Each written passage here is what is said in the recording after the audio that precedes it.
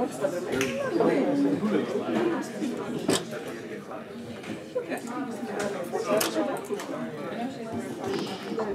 you very much for coming to this uh, presidential lecture. Today we are happy to have uh, Professor Belov from the ITMO University in St. Petersburg with us. Uh, I give you a brief background uh, so that you know whom you're listening to. Um, he received his uh, degree actually from the ITMO University in, as you said, computer science or IT in 2000. Then did two PhD degrees, one in optics in Russia and another one in radio engineering, which he did in Finland. In between, he worked in industry uh, with various companies, with Samsung in South Korea, but also uh, with the Robert Bosch uh, company. From 2005 until 2012, he was uh, working in the UK at Queen's Mary University in London. And uh, currently, he's the Dean of the Physics and Engineering faculty and the head of the Research Center of Nanophotonics and Metamaterials uh, at ITMO. his research interests include metamaterials, plasmonics, electromagnetics, uh, nanophotonics and uh, nanostructures. And today he's going to talk to us about the recent progress in uh, nanophotonics for new optical technologies. Thank you very much for coming. We're looking forward to listening to thank you very much for introduction. It's really a great pleasure for me to be here. It's my first time uh, when I'm visiting Japan. Yeah, it's my, my old dream. It's realized, and I'm really happy to be here in uh, OIST in Okinawa. Uh, I hope uh, that you will get some interesting information today about nanophotonics I will be talking about. But before I start about some scientific topics, I would like to show the place uh, from which I just came. Yes, so I'm representing ITMO University from St. Petersburg, Russia. I would say it's right across from here the other side of Russia. It's very, very close to the North Pole, St. Petersburg city. It's uh, actually second uh, city in Russia in terms of number of inhabitants uh, and the people who are living there. And actually, it's just six millions of us. And it's used to be called cultural capital of Russia, window to, Euro uh, to Europe, and so on. It was built in particularly uh, by Peter the Great in order to have connection between Russian country and Europe. Yeah? And uh, our university, ITMO University, is actually sixth university in Russia in terms of optics and computer science in our ratings. Yeah, so uh, we have beautiful uh, buildings in the city. We have also some nice signs, which I will be showing to you today. Uh, all they are combined. Actually, our laboratory, our research center, which is called Center of Nanophotonics and Metamaterials, is located right in the heart of the city, right this is a photo which is taken from when you go out from Hermitage and see the photos. If you cannot recognize it, I will help you a little bit. Yeah, so we have these beautiful bridges in front for those who have been to St. Petersburg. Yeah, they are walking right at this beautiful environment. So the lab is located right there. But not only this lab in particular contributed to what I will be talking today about. Yeah, we are working in very, very close collaboration with different groups around the world. I would like to acknowledge our uh, very long collaboration with Australian National University in particular with Yuri Kivshar. We are working with Boris Chichkov from Germany, uh, Arseny Kuznetsov from Singapore, and uh, recently from, uh, with Anvar Zakhidov from University of Texas. So not everything what was I was will be showing today was done in particular in St. Petersburg, but some of the things, some samples were taken from the colleagues, some of things were measured in the different places. So working in this purely uh, international environment right now. All right, in order to start, most of the things I will be talking today will be devoted to some nanoparticles, yeah? And actually, in the nanoparticles, what they can do, they usually scatter. Yeah? And actually, scattering of nanoparticle historically split it in the, into the, like a two different phenomena. First is Rayleigh scattering. Then the nanoparticle is much, much smaller than the wavelength. And this is actually the reason this, of this phenomena why uh, the sky is blue yeah, because of the scattering and so on and so forth. But actually, most of the things today will be devoted to so-called Mie scattering. This happens when the nanoparticles' dimensions are comparable or a little bit larger than the wavelengths. And you have many, many different scattering peaks, yeah? And usually, you even, in the nature, you cannot distinguish them. For example, scattering from nanoparticles from the clouds, they create a white color of the clouds for us. Yeah? But in reality, there are really, really nice resonance depending on the dimensions of these nanoparticles, which we'll be talking today about. Uh, fundamentally, from mathematics, If you just solve mathematical problem of scattering of the sphere, like a plane wave is coming and scattering the sphere, you can write some mathematical formula with some coefficients, but basically you can uh, identify different multipoles, and usually, conventionally, the dominant scattering comes from electrical mode. Then uh, you have a certain electrical dipole, and this electrical dipole dictates the scattering. Actually, the magnetic mode is usually avoided because for small particle, for Rayleigh scattering, it doesn't matter at all. And even in optics, if you, I tell to anybody, okay, can we have nanoparticle with some magnetic properties? You usually they'll tell me, okay, no, it's impossible because there are no magnetic properties for visible domain, for example. Yeah, but actually I will show you that it's quite possible, and it's possible to have magnetic mode, but it will be a little bit different. You will have displacement currents which are flowing around this, and you will have magnetic moment of the whole nanoparticle itself. You don't have a response magnetic response of the material, but you do have magnetic response of the nanoparticle itself.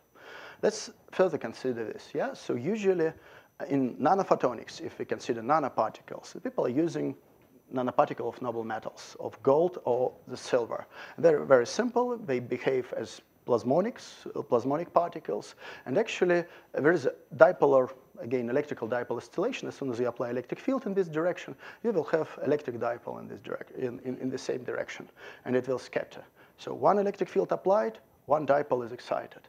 But in case of dielectric resonators, which we'll be talking today, today about, yeah, you can have both electric dipole and magnetic dipole, and they're different. In the electric dipole, you have this kind of oscillation of electric field, and in magnetic dipoles, the electric field will rotate around, yeah, and create magnetic dipole. Basically, in order to see all this nice phenomena of nanoparticles, you need a material with very high contrast, with very high dielectric permittivity. Uh, most of the results, which I will show, will be devoted to silicon, which has epsilon, which is very close to uh, 13, 16 in, in the visible domain. Yes, so index of refraction is around 3.5 or 4. But there are also other materials like germanium or aluminum uh, antimonide. Yeah? And uh, they're being also used for this purpose.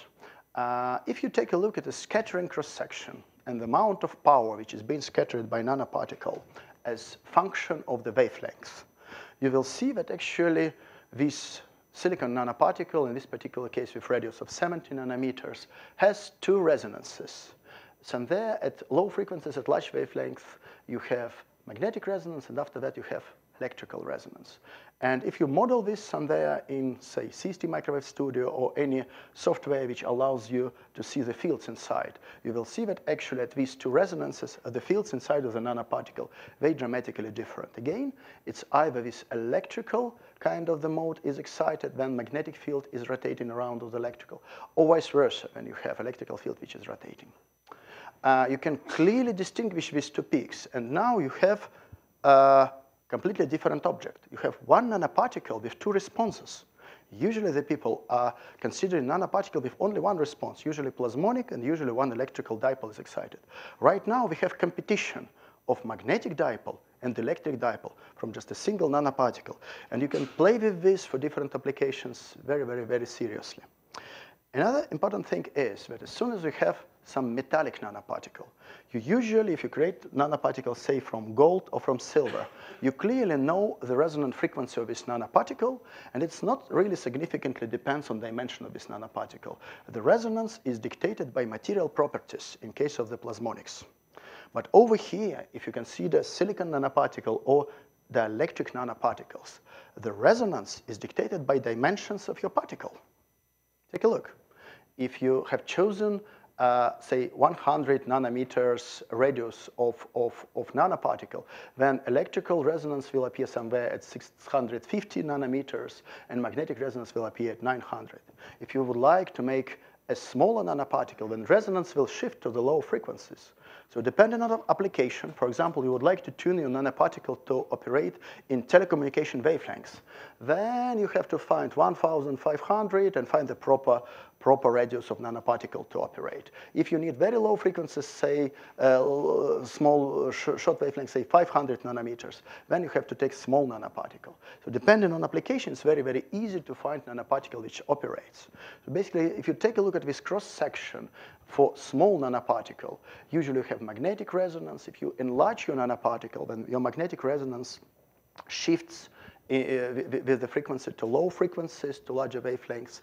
If you enlarge this radius even further, they again shift. So you can tune it. Yeah? If you know how to manufacture this nanoparticle with proper dimensions, you can tune it for particular application without any problem. And this is dramatic, dramatic difference. Yeah? Previously, the people were playing with plasmonic nanoparticles, trying to modify the shape of nanoparticle in order to fulfill these requirements. Over here, just the size, just the dimensions matter.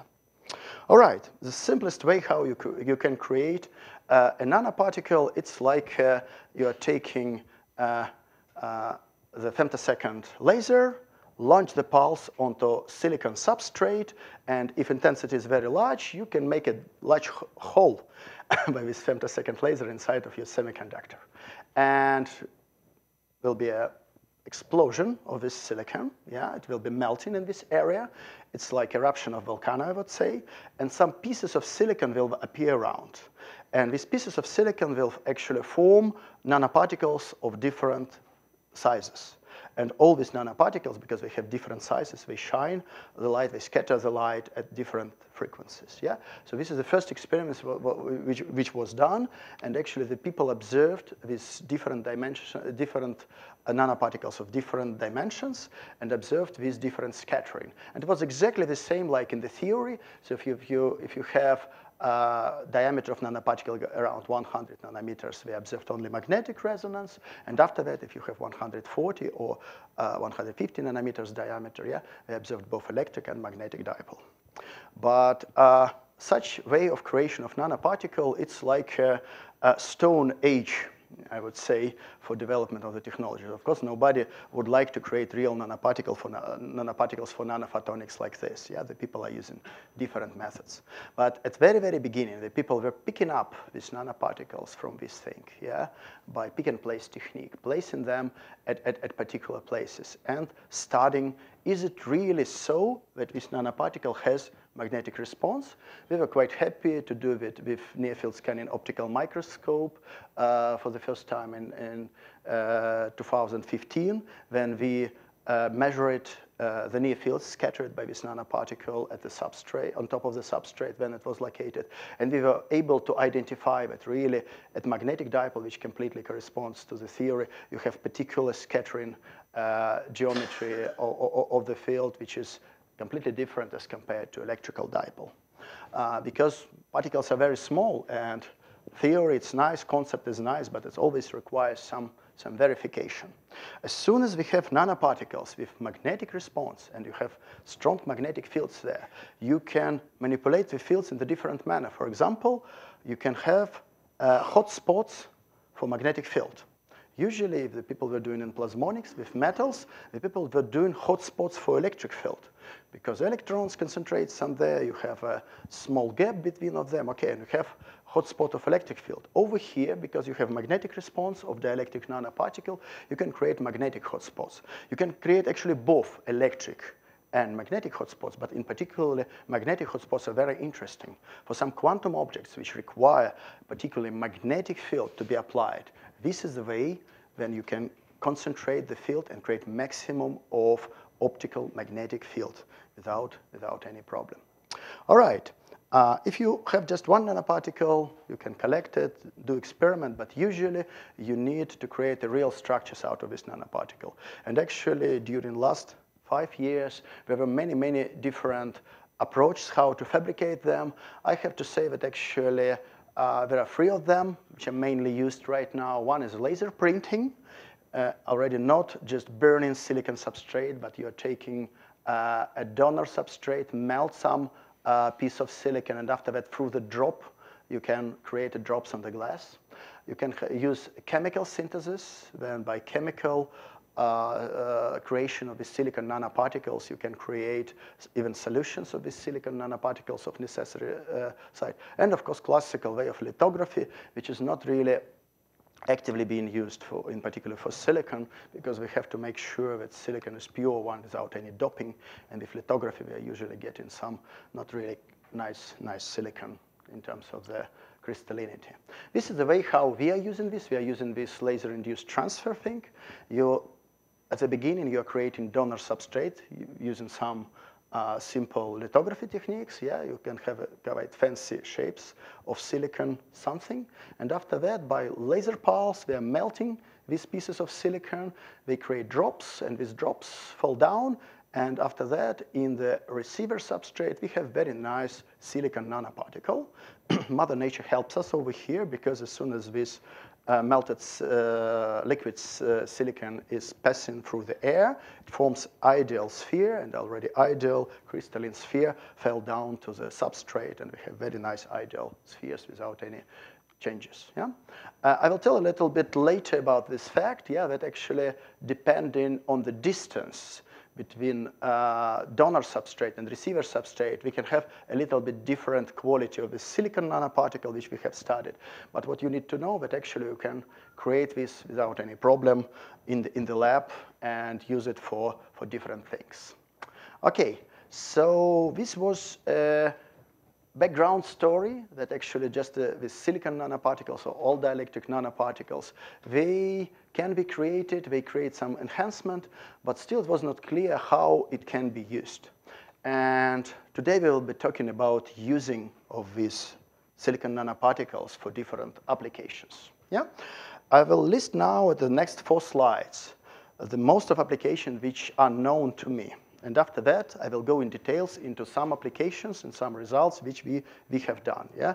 So the first one, the most amazing ones, were of course done not in my lab, yeah, but I will mention them as well. One th important thing that as soon as you have these electrical and magnetic dipoles, uh, excited. Yeah, you can have a configuration when you have very strong backscattering, very strong reflection. So basically, if you make array of this silicon nanoparticle, you can create perfect mirror. Nothing is propagating, everything is reflected, and the thickness of this mirror made of dielectric of silicon is very, very small. It's quite, quite nice for, for various applications. Uh, because these nanoparticles, they, as you, we have seen, We can have colors at different frequencies, yeah? You can just use this technology for coloring, yeah? If in some areas you create nanoparticles, say 100 nanometer diameter, in another 90 nanometer diameter, you can literally make uh, different colors. The people are just collaborating with people who are doing arts and making a whole portraits and very nice uh, arts uh, with the help of this coloring right now at the different scales, by the way. Yeah. Another thing from this silicon nanoparticle is that actually you can not only control the frequency at which this particle resonating, but also you can control a phase with which this particle is scattering the light. And this phase is very important. For example, you can write different phases at the flat interface and you can create holograms by placing different nanoparticles in different places and launching the light, you can create three-dimensional images, holograms without any problem. Another thing is that as soon as you modify in plane the distributions of this nanoparticle, you can create, for example, beam steering devices. Then we used to have uh, propagation or uh, refraction of the lights with particular angle. Over here, by modifying the surface made of this nanoparticle, you can tilt the beams on necessary angles which are required for particular applications without any problems. Another thing which you can do, you can create, for example, uh, flat lenses by manipulating the phase at the interface by these different dimensions of nanoparticles, you can create a flat lens which will focus the light with required numerical aperture, with required properties. Yeah, you just have to control these individual nanoparticles without any problems.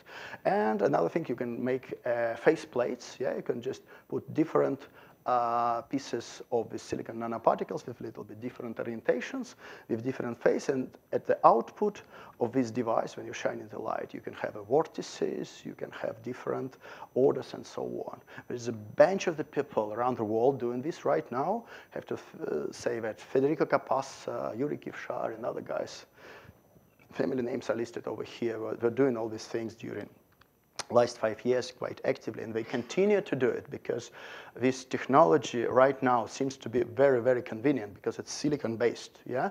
And as soon as silicon-based, it means that we can use conventional uh, technologies which we are using to process silicon in order to do this, yeah? A little bit of melting, a little bit of processing, and so on.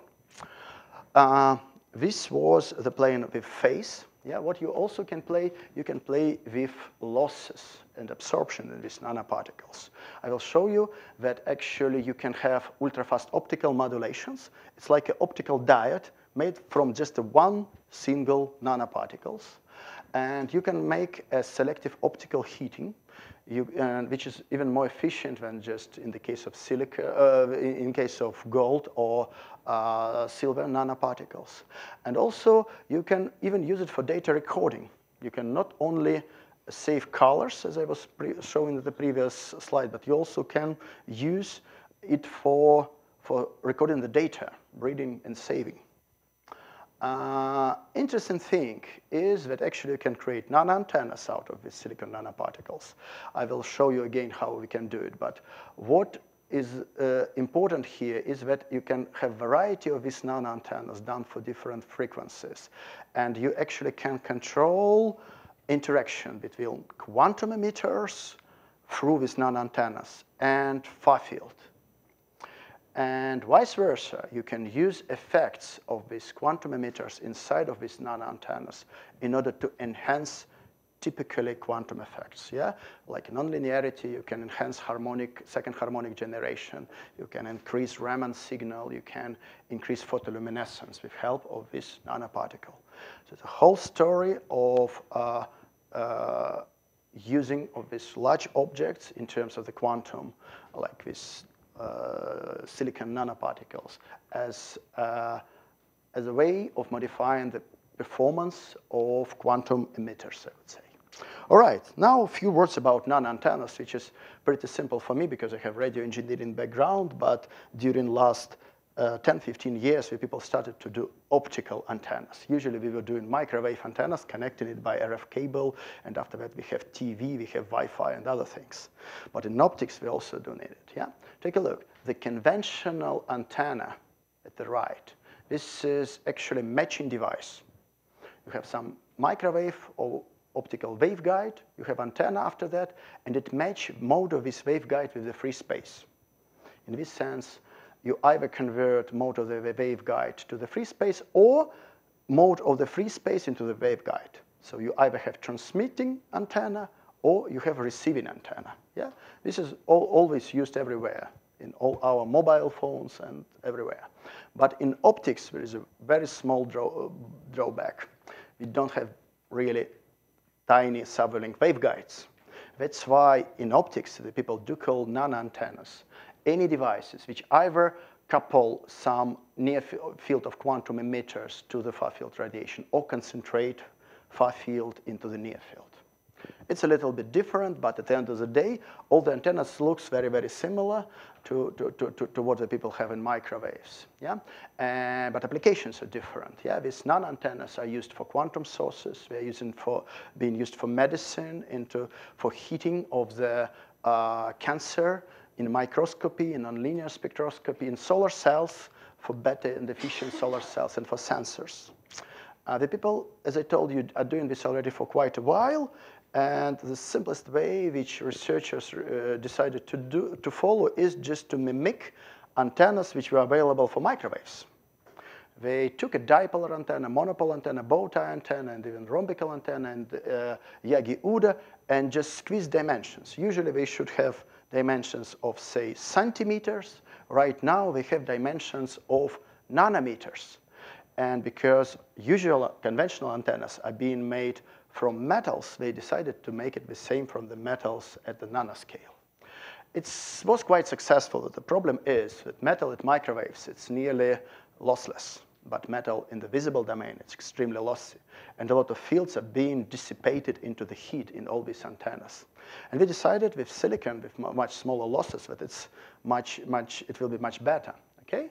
This is again this scattering uh, cross-section of single silicon nanoparticle. And right now you have to take a look at these three points. Take a look. This is actually the points when you somehow have equal uh, values of electrical and magnetic dipoles or electric and magnetic dipoles with opposite side. Uh, this means that nanoparticle at these frequencies will either uh, have a completely forward scattering in the forward direction or completely backward scattering. And by this forward and backward scattering, you really can create antennas easily. You put your quantum emitter next to this nanoparticle, and after that, you see that it starts to radiate directively with single nanoparticle, either in the forward direction or in the backward direction. And by knowing this, how you have to operate this, so it's radiate either in forward or in backward direction. So it's either reflector or it's either director. And you can use it for creation of, say, Yagi-Uda antennas. What is Yagi-Uda antenna? You have some emitter, and after that, you would like to radiate power at the right direction. So you have to put directors, which will predominantly scatter in this direction, and one reflector, which will reflect the light. So the light will predominantly go to the right, and the direction uh, of, of, of emission will be very, very directive, like, like, like this over here. And all the power will go in this direction. It has been done, but for the first instance, numerically, and experimentally, issues with substrate, issues with placing of the quantum dot over here were quite dramatic. What we have done, we decided to make a scaling. We scaled this structure back to RF. Uh, to microwave frequencies. Yeah, we found very nice ceramic material, which has exactly the same dielectric permittivity as the silicon, but not in the visible domain, but at 10 gigahertz domain. Yeah, and we created this nano antenna with dimensions of centimeters, and in anechoic chamber performed experiments and verified that everything is fine. Uh, after that, in, in, in, in one year, our colleagues around the world have done this experimentally in optics without any problem. Uh, we didn't stop at this point, and we decided to think, all right, so if we can now create antennas out of dielectrics, maybe we can create some different kind of antennas using this. And we started to think, okay, the main property of antenna is directivity, so it should emit light in one direction. How the people are doing this at microwaves? They're usually using either Uda-Yagi antennas or lenses or reflectors, but all these devices are very large. And exactly the same idea is being now projected into the optics. Maybe in optics we can do something else. Maybe we can have high directivity not only due to large aperture of antenna, but due to something else. And if you dig somewhere deep in, in, in, the books, you will find that actually there is so-called effect called superdirectivity effect. Actually, directivity of antenna is dictated by area of electric field created by this antenna, but not the physical area of this antenna. And for some antennas, it happens that electrical area of antenna is much larger than physical area. And if it's so, then it's called superdirective. And we observed this effect for single nanoparticle. If you have a hole of this nanoparticle, in, in notch inside of this nanoparticle, and place some dipolar scatterer, you can see the directivity of this guy dramatically depends on the location of this emitter with respect to this nanoparticle. This is x-axis. Zero is the center of nanoparticle. This gray area, it's inside of nanoparticle, white area outside of nanoparticle. If this dipole is located outside of nanoparticle, then we have very small directivity around 3, which I was showing you at the previous slides. But interestingly, as soon as this nanoparticle enters inside, you can have significant increase of directivity by three times, and you have already very, very directive emission, with single nanoparticle. So directivity is, is reaching level of 10, which is unpredictable. So usually in order to get uh, directivity around 10, previously take a look, you, you required to have one, two, three, four, five elements. Over here, you have directivity equal to 10 with just one single element. How can it be? It happens because you, inside of this dielectric nanoparticle, you cannot do it in metal. You have to use dielectric.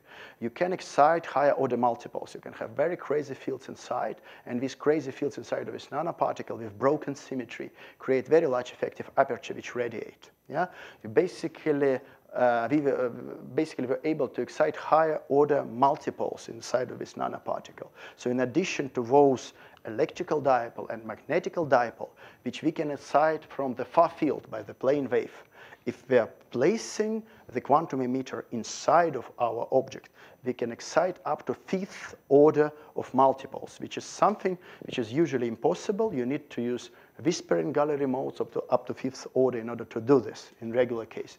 Over here, it's being done automatically, and as a result, all these multipoles are forming very, very nice directive beams. Uh, these beams are so directive that actually you can use it immediately, say for subwavelength uh, resolution imaging. If you change the source location over here inside of this whatever nanoparticle or nanolens, yeah, a little bit to the right, a little bit to the left, you have a rotation of the beam which is being emitted by this. Yeah? Over here, this is the angle of rotation as function of shift in terms of the nanometers. So in the far field, you will be able to detect shifts related to 5 nanometers, 10 nanometers with respect to the center by just fact that you will see that emission changed by 5 degrees. Detection in the far field, uh, uh, the 5 degree angle change, it's very, very simple. Yeah? Uh, we verified this uh, in microwaves without any problem, created this nice uh, antenna and placed a dipole over there, moved it, and have seen an experiment that everything is working as I, I have shown to you uh, numerically in the previous slide. But with real optical uh, experiment, it's still a problem. Yeah, you need a real uh, quantum source. We were thinking and continue to think about, NV center in the diamond for this purpose. You need a real silicon nanoparticle. You need to place it properly on top of this NV center. Uh, there are three groups currently working in the world on this. Yeah, always there are problems with quality of the NV center or with positioning. But at the end of the day, if you can do it, then you can extract by this uh, nanoparticle quite efficiently the power which is being radiated by these centers independently on the substrate at which this center is, is, is, is located. Yeah? Uh, I will probably skip this uh, uh, crazy figures, but I have to tell you that radiation efficiency of this antenna is about one. It means that most of the power which is generated by this NV center will go to the free space. So this antenna is working as a matching device between this quantum emitter and the free space. In regular case, if you have NV center on top of the substrate, it will radiate into the substrate, and the power will be absorbed in the substrate. Over here, it extracted and passes to the free space, and actually it's even more efficiently extracts the power because it has very large Purcell factor. Purcell factor reach level of the 10 or 15 over here, so it's double performance. One performance is directive emission of, of the energy, and another one is a Purcell factor generated by this antenna. Okay, and also you can use this antenna as soon as it's ready and if you can put it in, on top of the manipulator for, for imaging purposes for different angles without any problem. Uh, another interesting thing with these silicon nanoparticles is But of course we have a competitor like a silicon photonics then you have a silicon waveguides and so on. But even for silicon photonics, we can have uh, a very nice device if you make an array, a line of these silicon nanoparticles. You can make a waveguide okay, this waveguide is not better than just a silicon waveguide, but it has another nice property because there are so many bands uh, supported by this waveguide. For one of the bands, which literally really using magnetic and electrical moments of these nanoparticles, you can create waveguide which is uh, uh, not, not, not feeling any bending. So you can bend this waveguide by 90 degrees and you will have total transmission without any scattering there. This happens because of this nice mismatching between electrical and magnetical dipole of these particles. And the light is just jumping by near field from one particle to another and beam just passing through, through this edge without any problem. Okay, mm, this what I was showing you, it was linear, mainly linear phenomena. Yeah, now it's time to talk about some nonlinear phenomena. One interesting nonlinear phenomena which we observed was that, of course, if you shine light with very large intensity on the silicon nanoparticle, then you can change properties of the silicon itself. It's very, very well known. The dielectric permittivity of silicon depends on concentration of free carriers. And concentration of free carriers depends on the intensity of light which is shining on, on nanoparticle. If epsilon of this dielectric sphere is changing, the scattering will change. Yeah? And what we have done, we have done so that, for example, if you're shining low intensity light on this, in the nanoparticle, you excite only magnetic dipole. So it will radiate both in the forward and the backward direction, like this gray curve over here. But with high intensity, epsilon is changing, so the property of nanoparticle is changing, like we effectively change the dimensions of this. But dimensions remains the same, but the electric permittivity of the particle is changing. But the scattering is being changed, and you have this blue curve for scattering. So the particle starts to scatter more in the forward direction if intensity is larger. If intensity is small, then not. And they performed this experiment. What we have seen, we have seen an experiment that actually ratio of nonlinear reflection and this with large intensity and small intensity of this nanoparticle was about 15% from one single nanoparticle. So in a sense, you already can start doing some logic over here. So uh, it, it, it, it's really nonlinear logical device because it's like, like a diode. Yeah? With some intensity, you can, you can have a scattering in one direction. With another intensity, you will have a scattering in the opposite direction. Uh, in terms of publicity, this result was called like a smallest uh, optical dipole, yeah? But right now the problem is integration of this dipole into, in, in, into, into real devices. This is still, still a problem because as soon as you have uh, silicon, which is changing dielectric permittivity in one nanoparticle, it's a very bad idea to use silicon waveguides to, to put the power to, towards this nanoparticle. And this problem is not solved yet. Yeah? But probably, I mean, you can put this into some circuitry with required intensities and already use it like, a, like optical device. Uh, I was mentioning something about recording and uh, of data and changing the colors, yeah? We have done this thing as well. We decided that, okay, silicon, melting of silicon, it's too, too high uh, power, yes? So in order to melt silicon, you need about 1,680 kelvins, yeah? Uh, we decided to make hybrid systems. We decided to hybridize our silicon nanoparticles with plasmonic nanoparticles. We placed like a mushroom over here. The cap of this mushroom is made of gold, and this part is made of silicon. The good thing is that these two guys are melting at different temperatures. So what we can do, if we control intensity of light which we are shining, we can melt the head of this mushroom and the, the remaining part will, will, will, stay there. So with small intensities, it can be like this. With very large intensity, you can make a spheres on top of it. Yeah, And we have done this quite effectively. This is uh, our experiment depending on uh, amount of uh, power which we applied.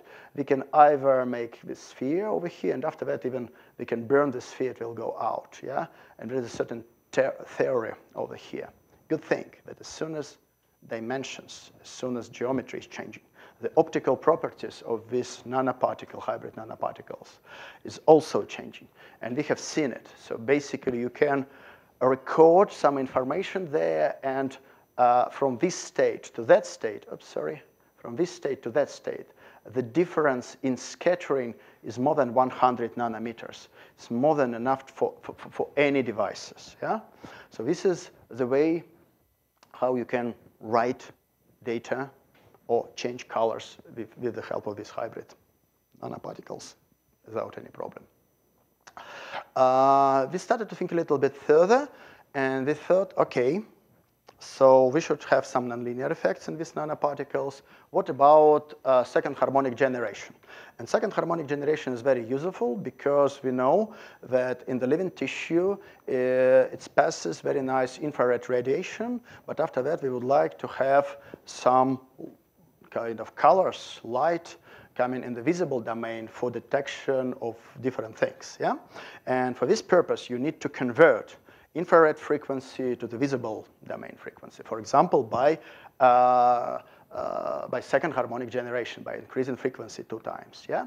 It's quite well known for many uh, nanoparticles made from different materials, and it's observable everywhere, uh, but all these materials requires uh, center, not center symmetric high index dielectrics, so they require Chi2. The problem is with silicon, it's completely symmetric crystalline lattice. So we shouldn't expect any second harmonic generation out of silicon. But in experiments we do. And this is very simple, actually. It's also known from the literature that this happens because of the interfaces. So if we could create a silicon nanoparticle, which is ideally spherical, which is very complicated, and completely crystalline, that we shouldn't have any Chi2 and nonlinear effects. But in reality, some interfaces will be a little bit rough, so on and so forth, and we will have Chi2. And in real nanoparticles, which we are using, Chi2 is very dramatic. Now I'm returning to this nice picture when I was showing to you that we are melting the silicon, cool it, crystallize, and after that depose. Yeah? Uh, we analyzed what are the nanoparticles which are being obtained over here depending on the phase uh, and depending on the distance between donor substrate and silicon substrate. Take a look. Over here you have distances 220 nanometers, 250 nanometers, uh, 300 nanometers, and 350 nanometers. Yeah? You see that actually optical properties are very very different over here. It means that nanoparticles are always very different. Why it is so? We take a look at second harmonic generation. We have seen that second harmonic generation is very large over here. And it's much larger, at least 20 times larger, and even more than just a silicon, amorphous silicon film. Yeah? And this because we have different state over, over here. Depending on the distance at, at, at, which all these guys are flying, we either have amorphous silicon or nanocrystalline silicon or polycrystalline silicon. We do see it from the Raman signal from this silicon, yeah? So we either have a maximum over here, which is corresponding to amorphous silicon or sharp resonance to crystalline silicon. So just these nanoparticles, they, they are in the different state. And for nanocrystalline silicon, we have many, many, many islands of this silicon. And from these many islands of the silicon, we, we have very strong second harmonic generation because these islands do have a lot of interfaces. And all these interfaces generate second harmonic, yeah? So we've got very nice efficiency over here. And of course, because these are nanoparticles, this efficiency is increased at the resonances, electric and magnetic resonances of these nanoparticles. Uh, and this is quite nice, I think. Uh, after that, we decided, all right, if for such simple uh, uh effect like a second harmonic generation, we, we, we have improvement uh, by our resonators, what about Raman signal? Yeah? And we decided to see what's going on with the Raman. This is usual uh, way how we measure Raman scattering, yeah, with objective and, and Raman spectroscopy. And what we have seen, we actually have seen that the fields inside of nanoparticle are being enhanced at our resonances, and there was a very strong expectation that Raman intensity will be also increased. And it's really happened. We observed that largest, so largest intensity was at magnetic resonance in this case. At the same magnetic resonance, we've got enhancement of Raman signal 140 uh, times. And interestingly, it's not just enhancement of Raman signal. Uh, it's Raman signal coming from silicon. And uh, spectrum, Raman spectrum of silicon depends on temperature.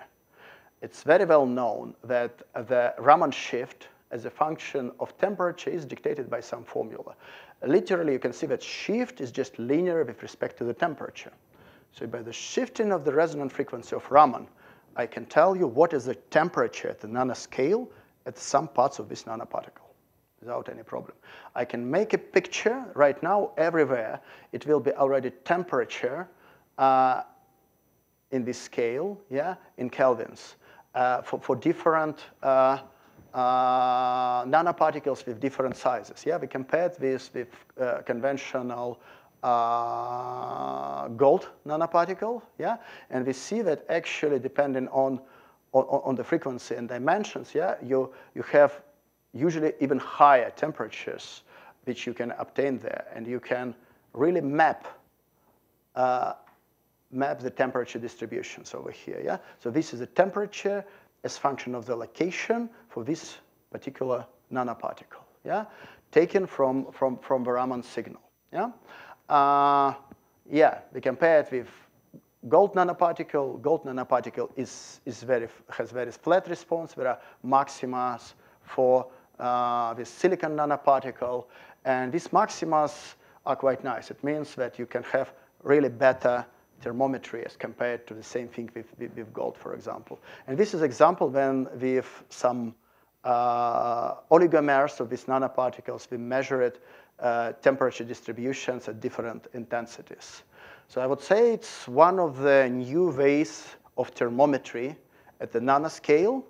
Uh, it's a little bit tricky because it involves silicon nanoparticles, but at the end of the day, it gives you information which is usually not really accessible because with some resolution about nanometers, you can get uh, information about temperature. Okay, last among all these nonlinear effects, uh, which you can see again related to, to Raman scattering.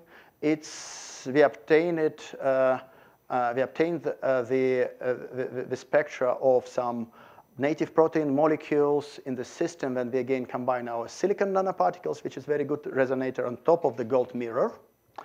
how we did this? Uh, we of course measured this and found the areas where the field is very strongly localized and got uh, improvement of Raman intensity. And in, in addition to thermosensitive line of crystalline silicon, we are obtaining a spectrum of, of the protein on top of it. So we can both control temperature of the area from which we've got a signal and the spectrum what is in this area, yeah? So we basically can trace molecular events, yeah? So we can know the temperature of our silicon nanoparticle, and we can see what's going on with these organic mo molecules there, yeah? So what we have seen here, there was some chemical reaction of uh, uh, there, and depending on the temperature, we have seen it at a different stage, yeah? So this is new area for me and for my group. But the people who are doing this, they're saying that this is really kind of not really breakthrough, but step forward for understanding of this, another method of understanding what's going on at the nanoscale with these chemical reactions and really molecular events. Because in this gap between nanoparticle and and, uh, and, and, and, the mirror, there are only a few molecules and chemical reactions there are quite, quite quite of good, quite of large interest for biology. Yeah, maybe the people who are doing biological studies can help me with this later in the discussions. Okay, last thing which we have done, we call it nanolamp. Uh, it's ultra broadband nanoscale light source. And we have created again it from silicon nanoparticle. Uh, at certain moment, we decided that it's not enough to make mushrooms from silicon and gold. Let's mix silicon and gold completely in the nanoparticle.